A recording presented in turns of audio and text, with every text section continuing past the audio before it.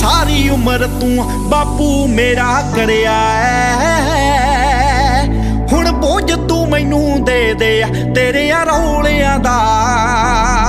ਜਿਹਨੂੰ ਡਿੱਗਦੇ ਟੈਂਦੇ ਨੂੰ ਲੋਕੀ ਟਿਚਰਾ